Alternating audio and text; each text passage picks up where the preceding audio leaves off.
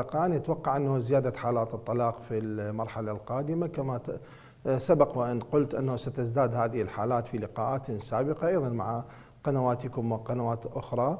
ستزداد هذه الحالة. من المسؤول عن الزواج وللأسرة ومن المسؤول في الحكم في هذا الموضوع؟ يعني من ينظر للأسرة؟ كيف تتزوج؟ كيف يختار الزوج زوجته؟ الزوجة كيف تختار شريك حياتها؟ إذا أنت كنت تجهل معنى الزواج معنى الزواج شرعا معنى الزواج اجتماعيا معنى الزواج أخلاقيا إذا أنت تجهل هذا وتتجه إلى الزواج من الناحية لإشباع الغرائز الجنسية بالتأكيد سينتهي بمجرد أن تشبع غرائزك الجنسية.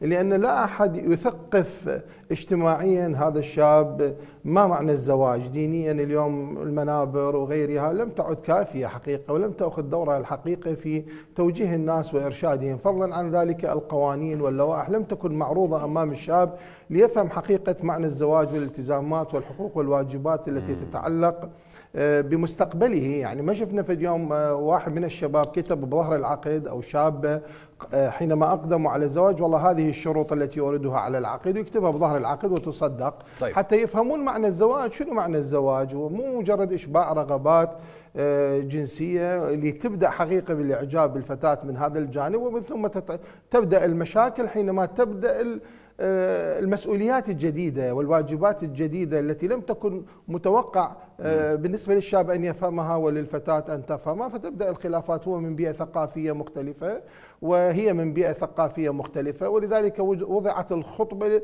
للتقريب بين الثقافتين. نحن نختلف حتى مع أنفسنا في بعض الأحيان. نخت... يجوز واحد يضج من خشمة يضج من عيونة من جسده من ملابسه التي يلبسها. فكيف مع شريك حياة يختار لازم يكون بمواصفات مدروسة في مرحلة الخطوبة؟ كل واحد عنده مفكرته ويسجل محاسن الطرف الثاني. والأزمات اللي مر بها في فترة الخطوبة ومو ما هي المعالجات ولكن هذا ما لا نراه. من يعلم هؤلاء في أن تكون هنالك قصاصات وأوراق مفكرة لدراسة سلوكيات الطرف الثاني لأن كل إنسان آه، يتصرف بالطريقة التي يتصرف بها ناشئة عن بيئة اجتماعية وأخلاقية ودينية. ولذلك أنا أجد أن نسب الطلاق ستزداد طالما أنه الاعجاب الإعجاب ما زال مستمرا بالجمال والإعجاب ما زال مستمرا بالثروة وما يمكن أن يقدمه هذا الفرد وما يمكن أن تقدمه هذه الفتاة من جمال، نعم بعض الزواجات تستمر، يعني إحنا سمعت قبل قليل أنه نحتاج إلى قوانين إضافية، يا أخي 15 آه، قرن صار لنا عندنا قوانين وفقه على كل المذاهب والشرع بعد السهم نحتاج قوانين جديدة.